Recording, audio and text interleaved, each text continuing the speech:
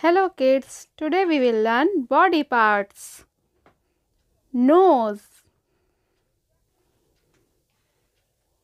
Shoulders. Stomach. Teeth. Thumb. Toe foot. Lips. Knee and ankle. Hair. Head. Leg.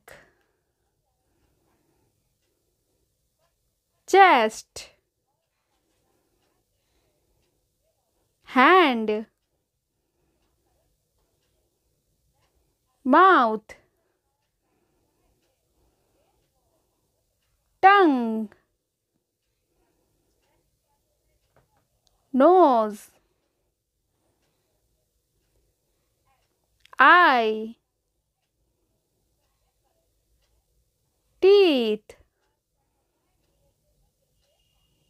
Thanks for watching